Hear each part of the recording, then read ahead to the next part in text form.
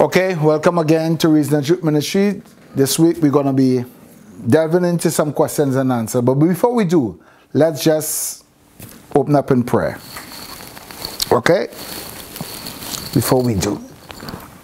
Heavenly Father and King even right now, we thank you for this time of intimacy. We thank you for this time of fellowship. We thank you this time, Father, when we could come and peruse your word and delve into your word and Father, get to know you in the manner in which you are to be known. Father, we thank you that this is the hour and the time and the season where your name is being made great throughout this world, where your character, your nature, and your person is being made known to all mankind. And we thank you this hour that truly we can come before you and we can bow, we can barak before you uh, Elohim, uh, Yod He Yeshua Mashiach, Yeruah Kodesh, we can bow before you and say, our God, the Ahad, the one who is and who will always be the non-cause, all cause of all things, that which we are. And we thank you. Grace us with your presence, with your Shekinah, and let your Ruach HaKodesh continue to Open our minds that we will come to know you as you are to be known. In Yeshua Mashiach name we pray. Amen. Amen. Amen. Okay, this evening we want to deal with some question and answers. All right, and also with how we are actually living now as just um, uh, like random explorers or or just savage so to speak. We, we live in a culture now where, where no, nothing is absolute and everything is relative and where I just do what I feel and how I think, that's okay. And what happening now more than ever is that people are moving further and further away from what we call absolute or truth or certainty, boundaries. And boundaries are that lines of freedom because without boundaries there isn't any freedom. Freedom is to say this is as far as I will go. This is as far as I choose to go. Freedom is not is not uh, pre preventing anyone from doing anything.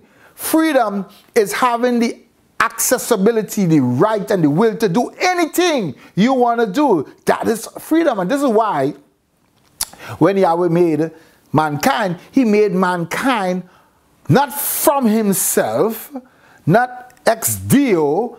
He didn't take any type of himself or any part of himself and make mankind or make any part of the universe. He made it out of nothing. He made it aboracadabra. I will create as I speak. That is what that word means. And we all know that word in any language. Abora, abora, Bara, bara means to create or means to bring things together, means to, to, to, to, to, to, to, make things into one place like a, like a summit. Kadabara, bara, kada, kadabara, dabara, dabara, the word, debara. So now he is using his word to bring all things together. And the word deba, it means to bring things together into one place. So now, this week we want to look at Hosea and what is actually going on in this passage of scripture, what is really what is really taking place in Hosea. Who is Hosea? Hosea is a prophet to Israel, both Israel and Judah at that particular point in time, in uh, when we had Israel doing all form of what? Foolishness, foolishness. Idolatry, and and and anything that you could devise in your mind, they were doing. Doesn't that sound familiar today in today's society? Now, Yeshua said in his word, as it was in the beginning, so shall it be in the end. And he said, when you see these things approaching, know that that is a sign of the end. Now, in Jewish culture, in the Jewish calendar, when you look at the age of the earth, is approximately 5 3,700 and something years. So it's nearly close to the sixth day. The sixth day. Okay?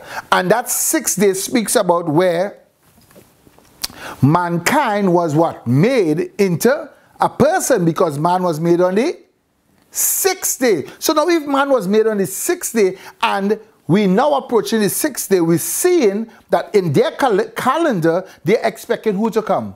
Mashiach. Because Mashiach now from their premise, this is when he's coming. But however, when he's coming, again, he's coming as what? He's coming as judge. He's not coming as a savior. He's not coming as a redeemer. He is coming as judge and as king. Now, that is necessary for us to know so that how we live this life. So now, Israel, Judah, the great prostitute, and she is Gomer, as the story is told in Hosea. Now, when we turn to, to Hosea chapter 11, when we look at Hosea chapter 11, from verse 1, when Israel was a child, I love him not her, but him. Out of Egypt I called my son.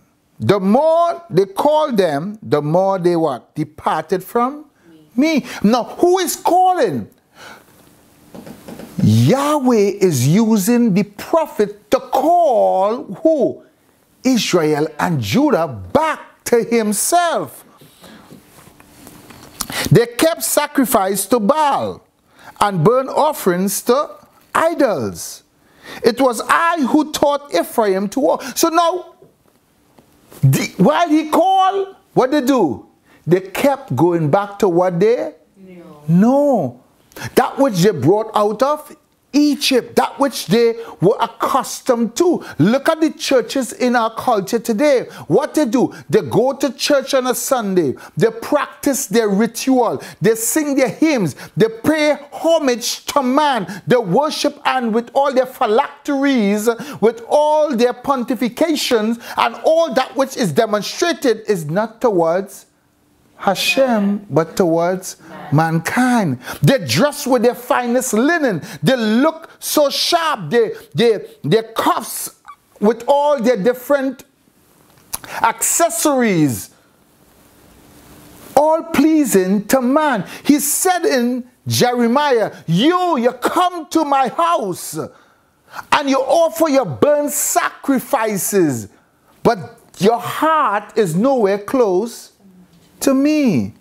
I need not your burnt sacrifices. So now, what are we to take out of these words that the prophet is actually speaking to us? So now, Hosea, now he is talking to Israel, but very, very radical. As a husband will so long for her wife, for his wife, a husband who is who is angry because she has played the harlot.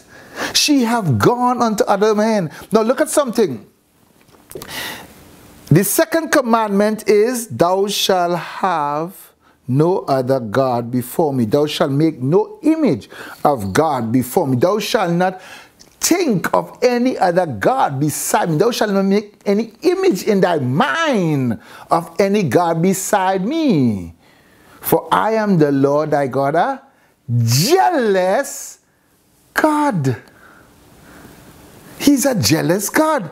So now, the seventh commandment said, Thou shalt not commit a adultery. So now, when you take the two commandments and you kiss it together, the second correspond with the seven. So then there is a principle therein in those two, in those in that in those two commandments, there's one principle. So now, the Ten Commandments, you have five principles. But let's just, just take a, a, an extraction from that one.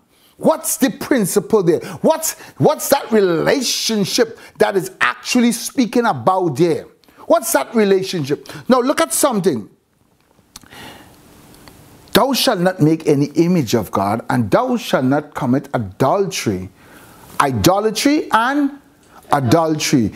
Meaning, what he's literally saying is that you can get anything you want from a woman. Anything you want from a man. Thou shalt not commit adultery. Because when you commit adultery, what you're doing? You are just exchanging parts. You are exchanging parts. And when you exchange part, it has no what? No meaning. Because you're not looking at the source, you're just looking at the, the effects of what is coming from that source. Is this woman different from that woman? Is that woman different from this woman? Who is this woman?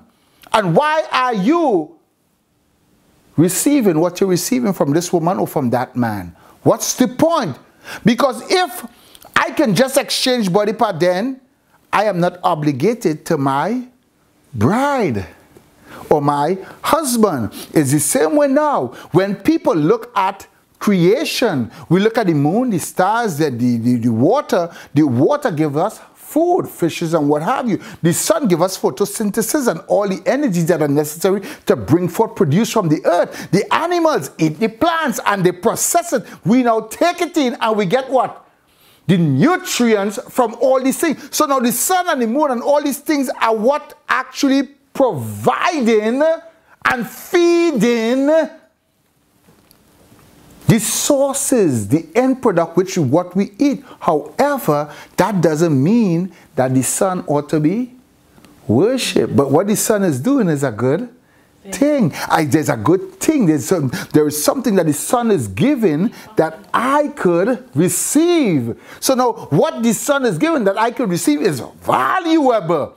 But that doesn't mean that I must worship the sun. What I could get from a woman is valuable.